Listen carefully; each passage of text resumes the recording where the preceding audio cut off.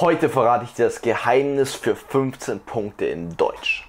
Willkommen zurück, Abiturathleten. Hier ist Leo, dein Abiturcoach und unser gemeinsames Ziel ist dein Traumabiturschnitt.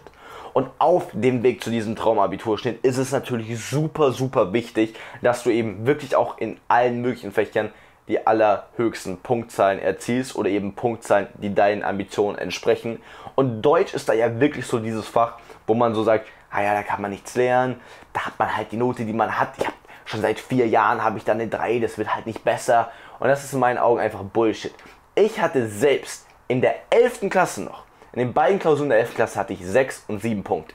Okay, ich glaube, das ist einmal eine 4 plus und einmal eine 3 minus oder irgendwie so. Also wirklich echt nicht gut und habe dann trotzdem schlussendlich in der Abiturprüfung die 15 Punkte in Deutsch geschrieben. Deswegen glaubt mir, glaubt mir, glaubt mir, es funktioniert. Und wie es funktioniert, erkläre ich dir jetzt.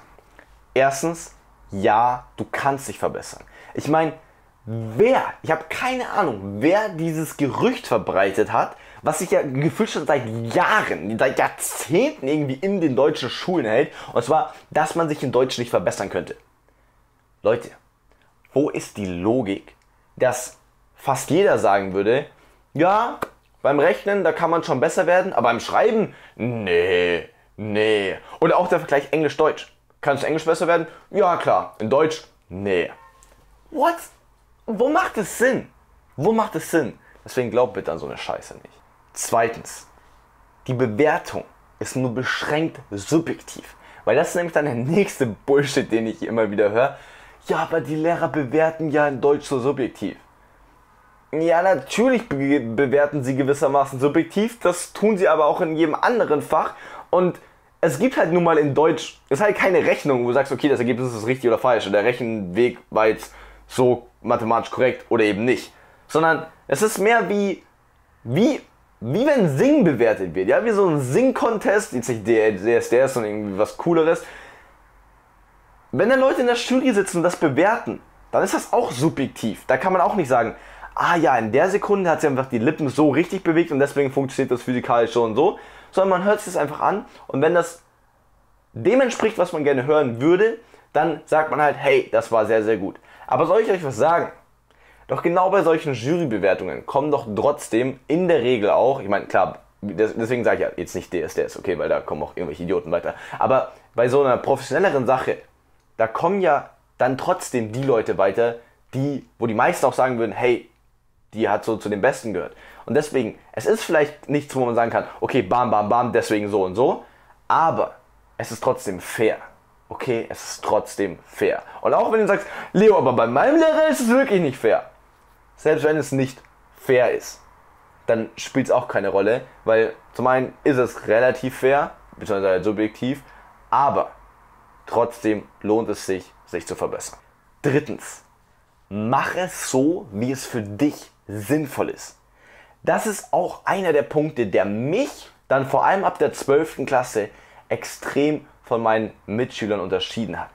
Und zwar haben wir in Deutsch so einen, einen starken Drang zu, wie war die Gliederung nochmal korrekt? Muss ich da jetzt römisch groß, muss ich da jetzt römische Zahlen machen oder arabische Zahlen? Leute, das sind Äußerlichkeiten, das ist die Form. Die kann vielleicht bei manchen Lehrern wichtiger sein als bei anderen. Aber prinzipiell versucht mal die Deutschaufsätze nicht so zu gestalten im Sinne von, oh, ich versuche das jetzt richtig zu machen, weil das gibt es nicht. Stell dir vor, du versuchst richtig gut zu singen und dann versuchst du dich so richtig verkrampft darauf zu konzentrieren, zur richtigen Sekunde die Lippen richtig zu bewegen. Das wird scheiße. Das wird scheiße. Sondern wenn du singst, versuch einfach mal so gut zu singen, wie du es Gefühl hast, dass du gut singst. Das ist dann vielleicht nicht sofort perfekt, aber es hat einen gewissen Sinn. Es hat einen Sinn dahinter. Und auch Deutschaussätze haben einen Sinn dahinter. Auch wenn du sagst, das, der Gedichtsvergleich macht, gibt aber überhaupt keinen Sinn, die Interpretation. Doch, hat es. Und wenn es zumindest in deinen Augen das jeweilige Gedicht nicht hat, dann sollte es zumindest einen Aufsatz haben. Und zwar, überleg dir einfach mal, warum ist denn die Struktur so aufgebaut, wie sie aufgebaut ist? Die Gliederung, die uns der Lehrer gegeben hat, macht es in meinen Augen so Sinn. Also nicht nur, ah ja, okay, ich muss mir auswendig merken, an dem Punkt kommt das, da kommt die Einleitung, da kommt dann der Vergleich, dann das Argument, babam. Sondern überleg doch wirklich mal, okay, warum ist es aufgebaut? Sanduhrenprinzip bei der Argumentation und so weiter. Warum ist es so? Macht es so Sinn? Würde ich es vielleicht anders sehen? Boom. Und dann erfährst du nämlich auch ein, eine viel höhere Kompetenz, ein viel höheres Verständnis von diesem ganzen Deutschthema, weil es nicht mehr ein, oh, ich muss es irgendwie richtig machen und dann versuche ich das und dann sagt der Lehrer aber trotzdem, dass es falsch ist, sondern du durchdenkst es. Und das fehlt den aller, allermeisten. Viertens, du musst viele, viele Deutschaufsätze schreiben. Wenn du jetzt dachtest, ich kann dir in dem Video irgendwie die eine Metapher geben, wo immer wenn du die verwendest, bekommst du automatisch 15 Punkte. Nope, natürlich nicht. Wie bei allen Sachen. Deswegen sage ich auch immer wieder Abiturathleten. Das ist kein, bam, mach diese einen Trick und dann, bam, hast du extrem gute Noten, sondern es ist in der Schule immer, immer konstant. Es ist immer ein immer weitergehender Marathonlauf. Da passiert nichts einfach mal, boom. Deswegen, ich habe wirklich einige, einige Übungsaufsätze abgegeben. Bestimmt vor jeder Klausur zwei, drei, vier vom Abi, glaube ich sogar.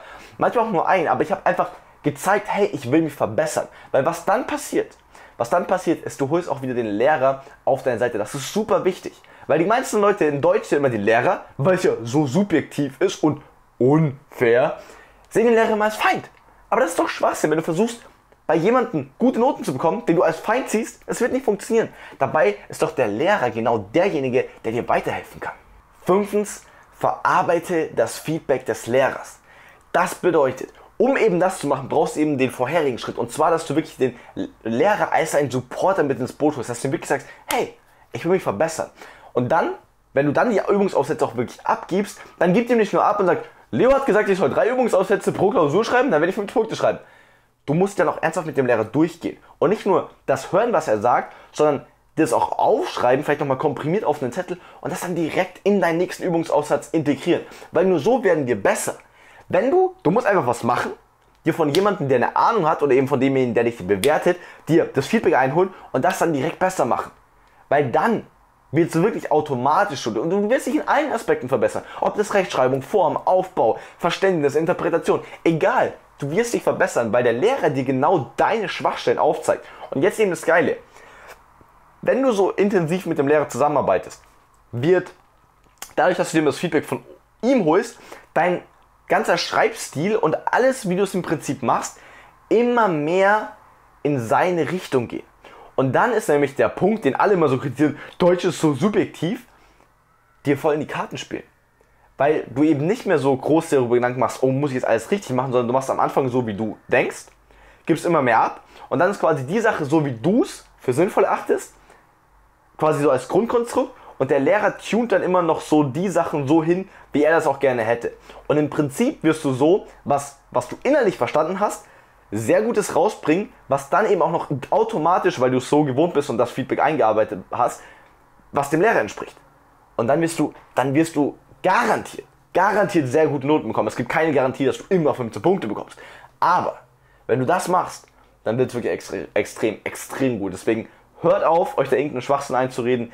Denkt dran, ich glaube an dich, vor allem wenn es darum geht, in Deutsch besser zu werden. Ich habe selbst nicht gedacht, ich habe es mir aber dann vorgenommen, habe gesagt, ich ziehe es durch und habe es geschafft. Und deswegen, wir sehen uns im nächsten Video. Dein Leo.